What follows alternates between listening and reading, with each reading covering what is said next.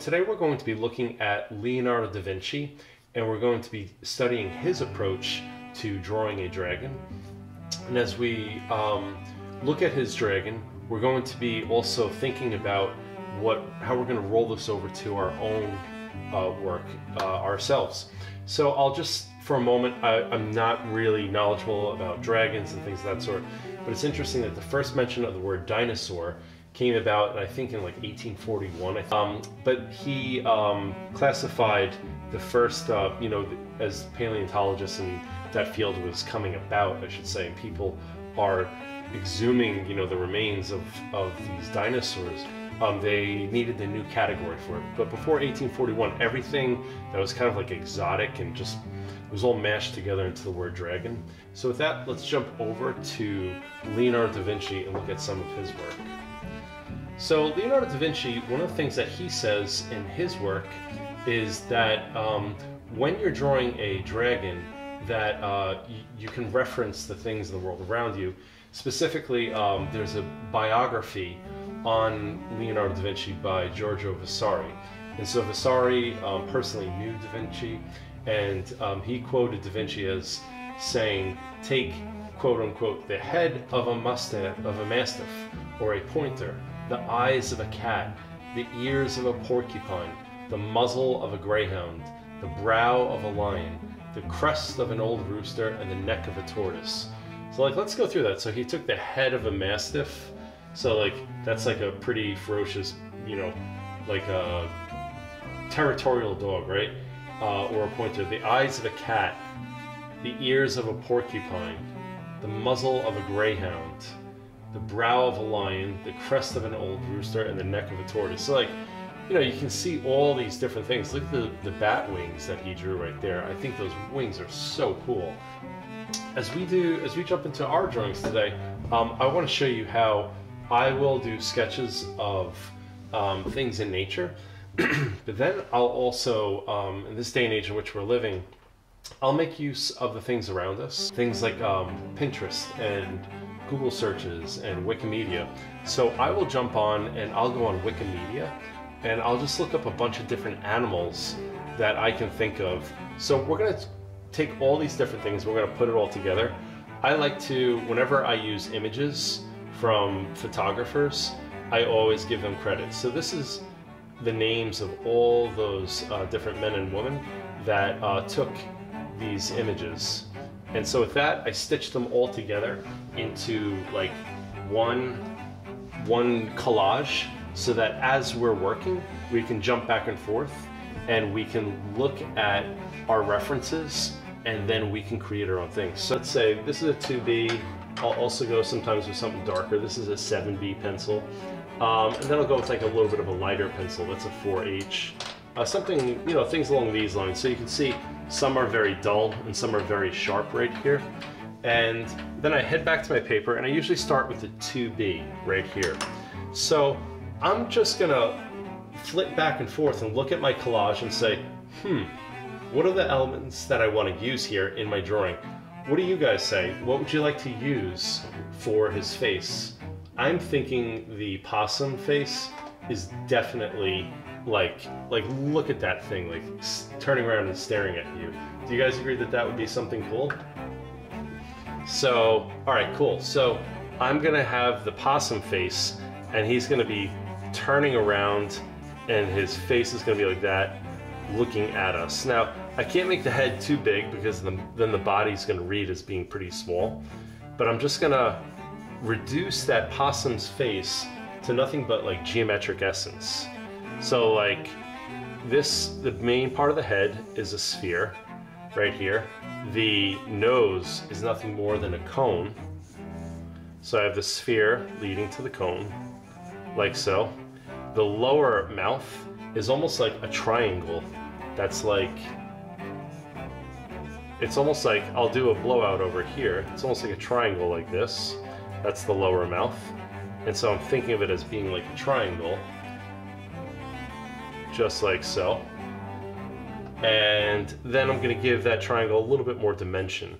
So over here, you could, if you wanna make a triangle into something dimensional, you can like go like that. Like I've, I've clipped the end of the triangle, but you know, you see what I mean. And then jumping back to here, I'm gonna give it a little bit more dimension. And so now we have that kind of like that, that snarled possum face that's turning and staring at us. So, okay, so now for the eyes, um, I have a little trick with the eyes. So I can't quite get this close enough for you to see it, but I want to show you something totally wacky uh, for what I do when I have to draw eyes. The only way that I can give you, you know, give you an example is to actually kind of like get really close to the camera so you can see my eye really close like that. That's what I do in this right here. So I have a mirror that is here at all times and I can even get it to come closer to me. Uh, it takes a little bit of work for this video. And what I do is I can go like this and I can look at my eye and I can study my eye. And I prefer to do that than even looking at like an animal reference. I know it sounds really wacky, but um, animators who I'm friends with, cartoonists who I'm friends with, they keep big mirrors by their desk and they look in it and they make a face. So you can practice that. So like actually go like this and like make the face of the thing that you actually want to draw. It's, I know I look like a weirdo, but uh, hmm, yeah, I'm okay with that. Um, and just like get this like gross snarl going, and then feel like actually go, oh, when I do that, the corner of my nose comes up. I should keep that in mind for the corner of my nose to come up. So I'm gonna jump back over here, and one eye I'm gonna make really, really big and wide open, and the other one, going back to that face I made before, for some reason one of my eyes closed. I'm like, oh, okay, one of my eyes closes, the other goes wide open, so I should make one eye wide open, the other eye closed. So I have this like squinting much more. This one's wide open. Maybe I'll already put like an eyeball in there.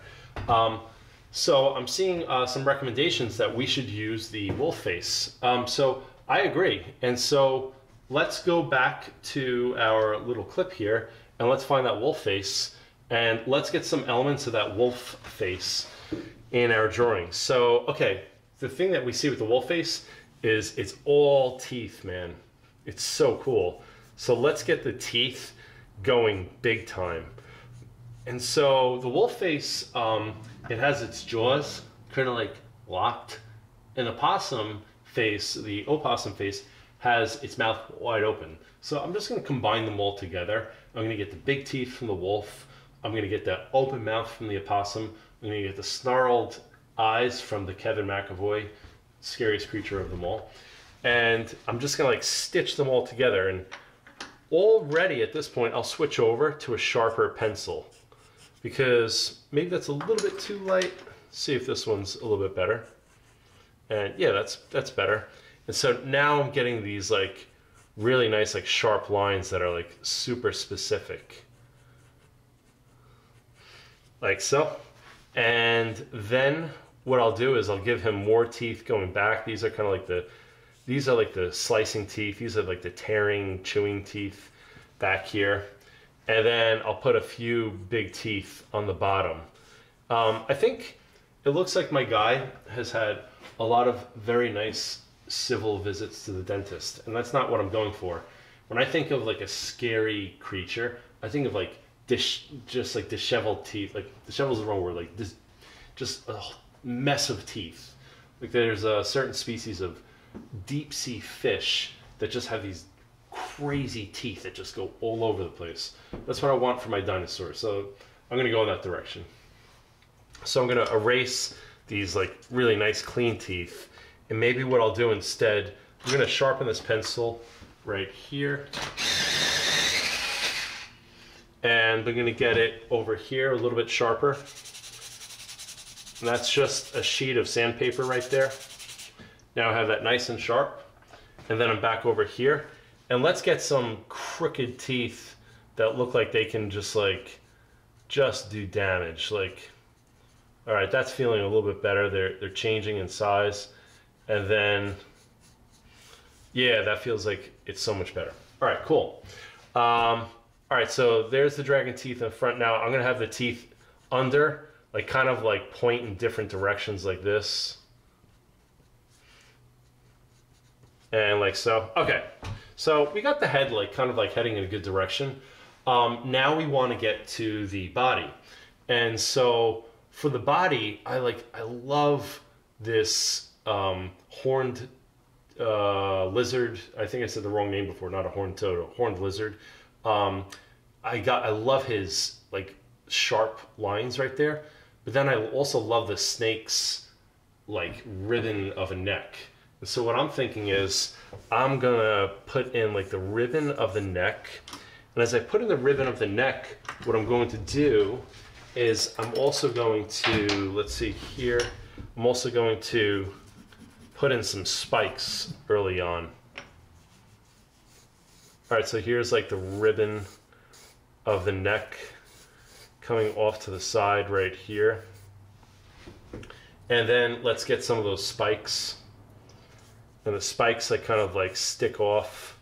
But I, I want the spikes to be like kind of like all over the place. Usually there's spikes that come off the back of the neck, which is good and fine. But I think I want spikes to kind of come like also over here and they're gonna like taper down size. If you go back to our horned lizard, you can see that the spikes on the side, they get they go from big to small. And I mean, look at that cool spike in the back of his head. The thing is so cool. And so my guy needs some kind of like a spike, just like him. And it goes small, a little bit bigger right here, and little bit bigger yet. And okay, so things are kind of like shaping up. I'll go back to the eye and I'll give it a little bit more definition. Um, all right, so now what I want to do is I'm kind of like locking in this area. Now I'm going to move a little bit bigger and broader, and I'm going to think in terms of like, okay, so what's going on with the body? The body of the dragon, I think the closest we can get to it is like this right here. Um, we just essentially we need like almost like a rib cage, and so I want to also think of the design of this dragon's belly. So like maybe that will work right there. I'm not sure. Maybe this is almost like a circle and that's like a circle and those circles are too similar. So I'm going to make one smaller and the other bigger. So all right, so for this, I'm going to make this circle come up a little bit higher and then that balances this off. But I like running into problems in front of you guys because as I'm working, if I run into a problem right in front of you, then you know that I'm designing it in the moment, that I haven't worked everything out. Here's the problem. If I move the body up higher, then I have no more room for the wings. So maybe what I want to do is move the body lower, like that. And then maybe his tail wraps around, something like that. That's his tail. And then that gives me a lot of room for some big beautiful wings, which we're gonna import from the bat. So, okay, so for the wings, we can go like this, and we can just wrap around. I'm just gonna put in a quick general shape. Not really too concerned about like the specifics of it. So I'll go back to my bat wing section, and here I am. And I'm like, okay, I know what that should probably look like now. So I jump back to my drawing. I'm like, okay, so then maybe this should come over.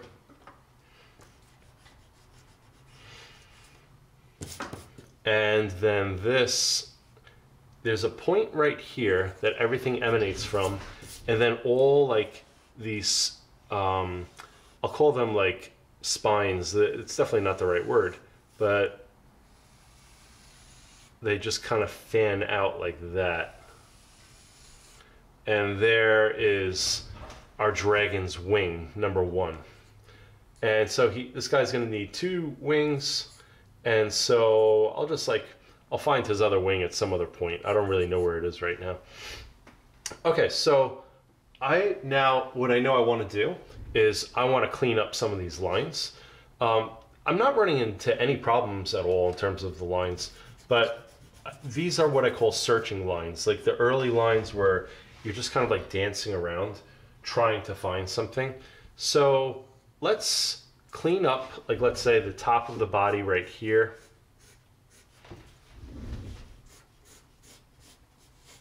So there is the top of the body.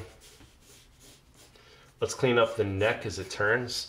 And again, if we want to see like the qualities of the neck, the thing that is probably good for us to do is to just go and look at nature. And so I'm a big advocate. Uh, one of the things I really try to teach in my classes is keep going back to nature and let nature really inspire you. So I love the way that the neck turns on this the snake in that photograph, and so it it has this like this flat quality to it with such amazing dimension, and it's so much more interesting than anything Kevin McEvoy would come up with. So I, as I work with you guys, I'm always trying to say like, go beyond me, go beyond Kevin, and get out into nature and like study nature for yourself and see like what you can be inspired by as you actually go around like your world. So okay, so now as I'm looking at at this area, um, I feel like it's going in a pretty good direction.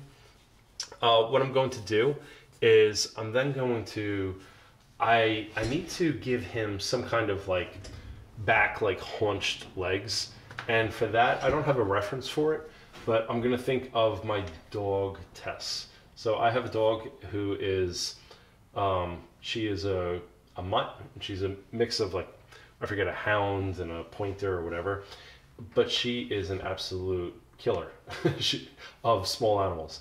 She will hunt down squirrels and she'll catch them. She'll hunt down po- uh, opossums. She'll hunt down raccoons, and all the power of her back legs is like this. So like you look at her like when she's like ready to go, and it's all potential energy. So go like this with your own hands and feel that power. Or go like this with your legs. Feel the power that's like resonant in there. So that's what we want to do over here. So let's let's make some like a leg right here that's just filled with like all this potential energy. And so it kind of comes like this and it's just this thing just has a lot of power in it and it's ready to go like that. Okay, so there's the back leg right there. Maybe we'll let the other back leg kind of like just disappear. Now the front leg, we all know with Tyrannosaurus rexes, they're these big, mean, you know, crazy dinosaurs, but they have these like tiny little arms that like can't like do much.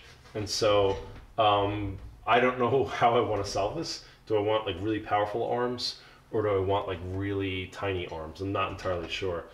Um, I saw a comment from Gavin saying, could you maybe add fire in his mouth because he's breathing fire? Um, definitely, let's let's try to get some fire coming out of his mouth. Um, okay, so we'll try to like mass in the body as quick as we can so that we can move on to fire coming from his mouth. So he's got to have some shoulder blades going on right in here. And so to get this area figured out, I need to decide on what position he's in.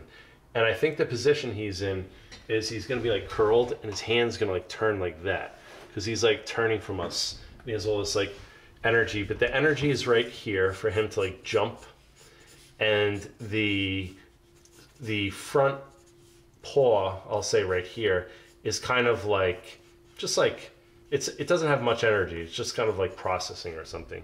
So I'll return to that later. That's not really working so great, but it's not a problem yet. Um, I'm gonna return over to the face. So I go back again to my mirror and I look in my mirror and I'm like, okay, I make the face. Now if I was making like a really dorky dragon that was like really wimpy, um, I'd make a face like this and I'd look in the mirror and I'd try to figure out what was going on with that. So as I look in the mirror and I see this one huge eye that's like staring right out and the other eye that's like somewhat covered, um, I would I would like just try to like emphasize these things.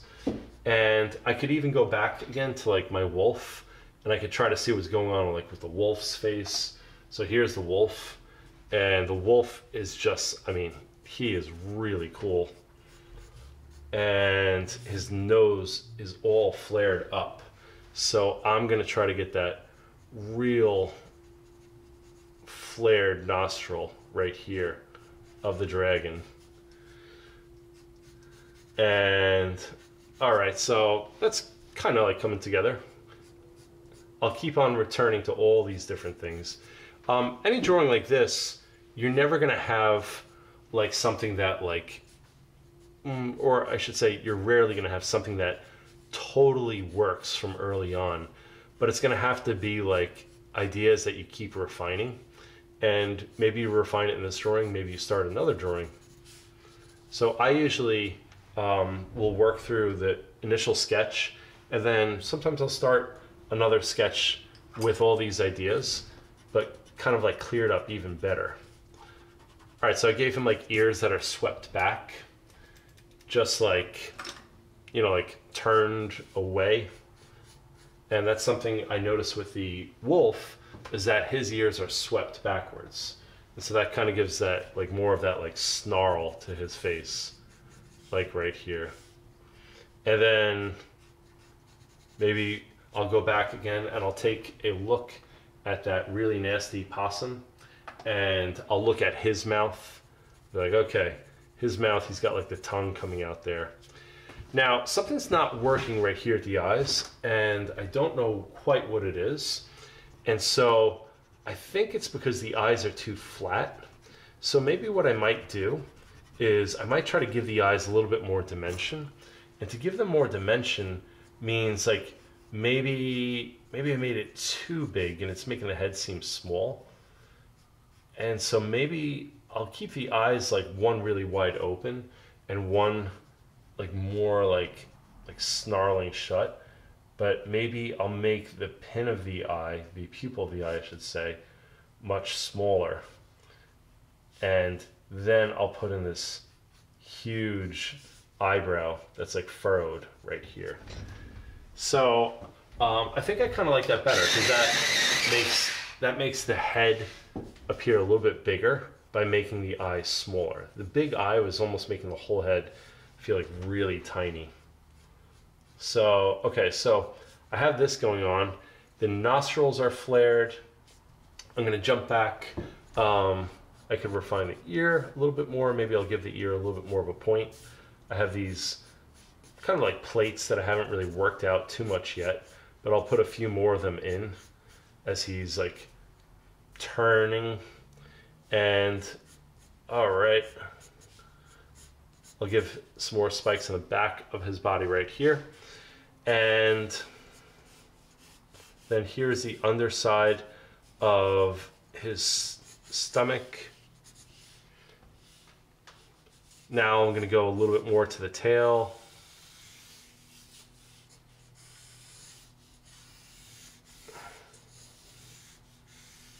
And the tail kind of like wraps around like so. And let's get jump over to the wing.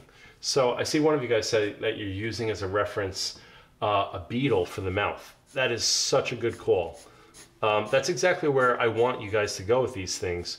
Um, I want you to kind of like take these things in directions that I wouldn't like, I myself like even have predicted. Like if you use the, a beetle for the mouth, if you use like the wings of like, I don't know, um, some kind of like a dragonfly.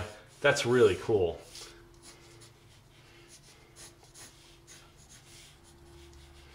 And now I'm gonna kind of like reinforce the webbing. So the webbing like comes, sometimes when you're doing something like webbing, you can even think of your fingers and how we have this like slight webbing like right here. It's definitely, it's not truly webbing. So I'm not saying that we have webbed fingers, but I'm just saying there's piece of skin right here in between the bones of our hand. And so it's almost like I'm thinking of that as I'm drawing his wing right here. And cool. All right, so that feels better. And I'm still, yet again, I'm gonna go back to the eye. I wanna find like the perfect eye, and I, I just feel like I haven't found it yet.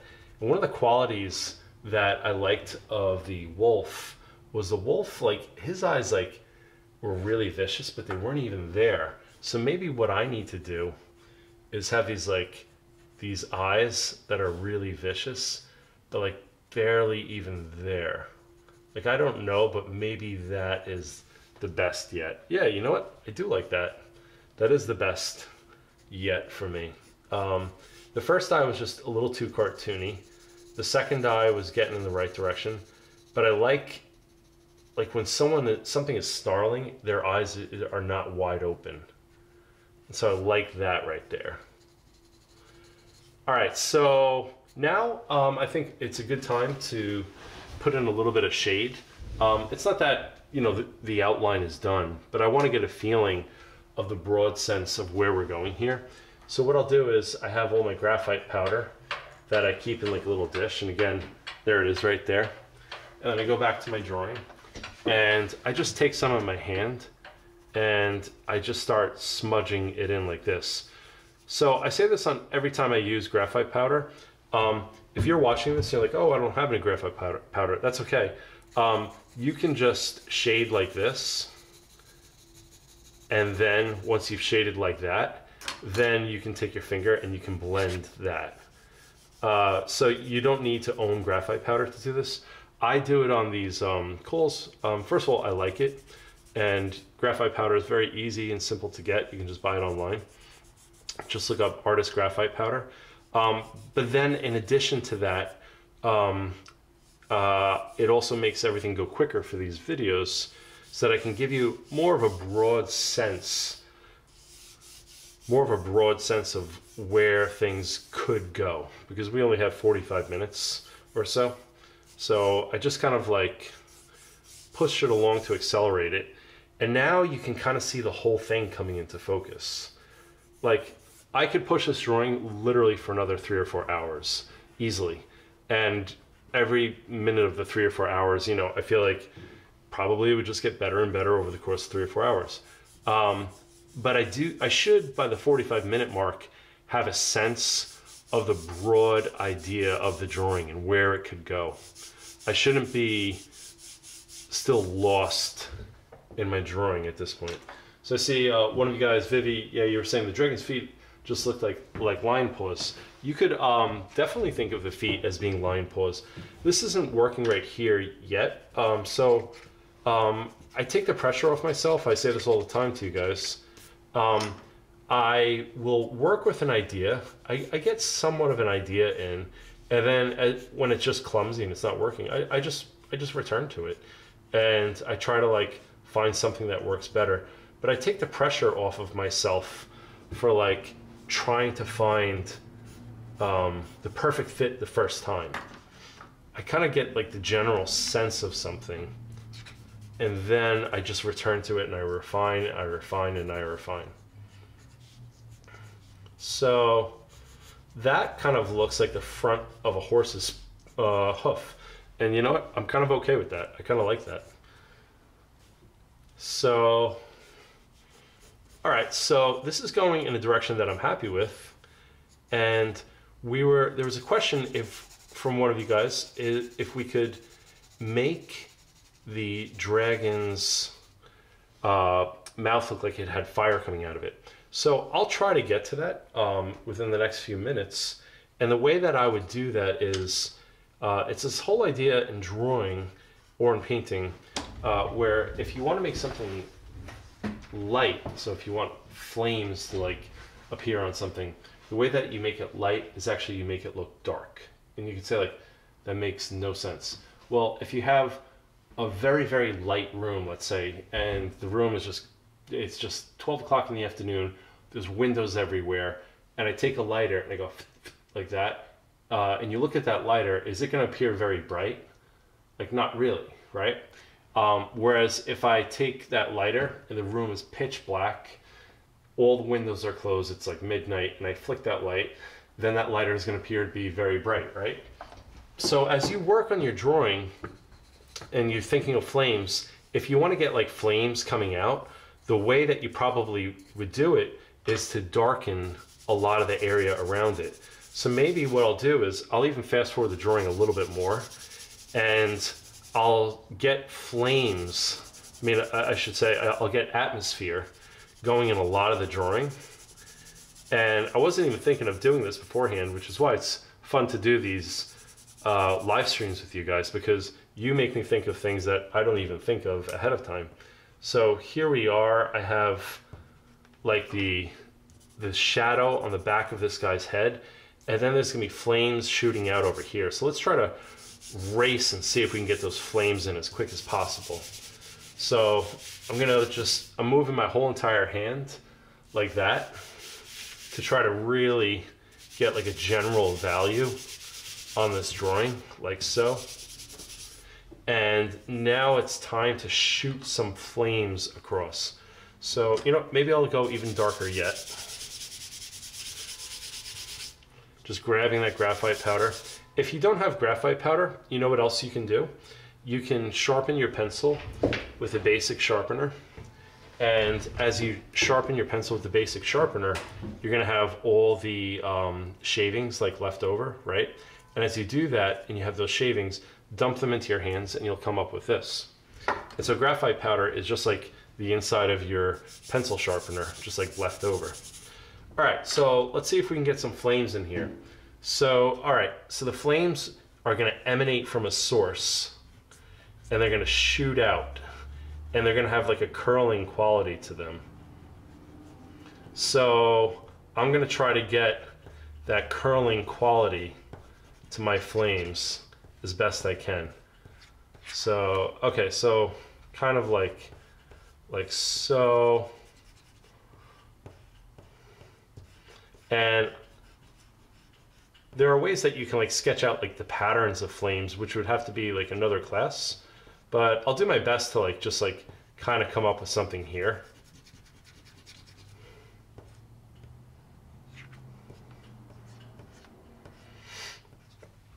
And that's pretty much um, just a quick rough out. And now I'm gonna draw in the reverse with like a blending stump. I'm gonna try to get like something like resembling a flame.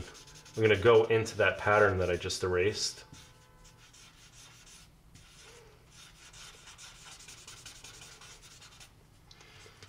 And see if I can like carve out pretty much I'm regarding this as being like positive space and then I'm carving out the negative space. It's just a way of thinking to get like those flames like shooting out right there.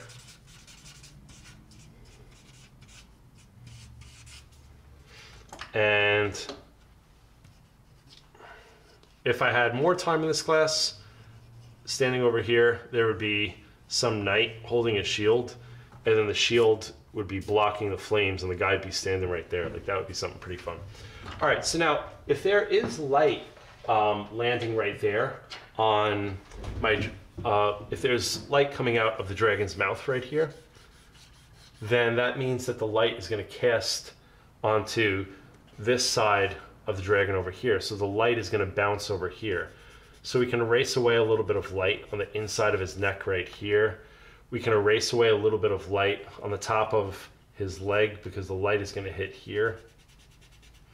We can erase away a little bit of light on the top of the tail down here,